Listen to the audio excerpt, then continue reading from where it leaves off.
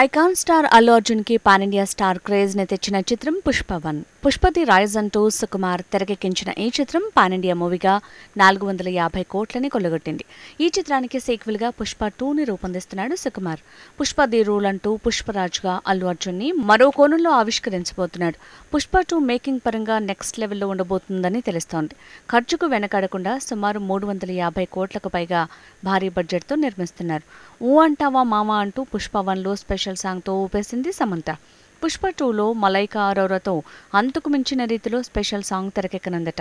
Indian మార్కెట్లోనే కాదు రష్యాలోనూ పుష్ప వన్ కలెక్షన్ల సునామీ సృష్టించింది. దీన్ని దృష్టిలో ఉంచుకుని పుష్ప టూని వైల్డ్ వైజ్ క్రేజీ ప్రాజెక్ట్గా రూపొందిస్తున్నారు. ప్రతిష్టాత్మక మాస్కో ఫిల్మ్ ఫెస్టివల్లో పాల్గొంది పుష్ప వన్.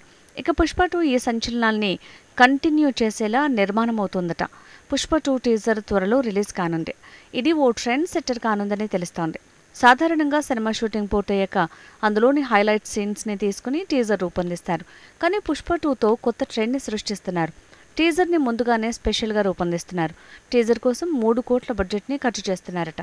ఈ ప్రయోగం మంచి ఫలితాన్నిస్తే పుష్ప టూ టీజర్ ట్రెండ్ సెట్టర్గా నిలుస్తుంది అంటున్నారు సినీ క్రిటిక్స్.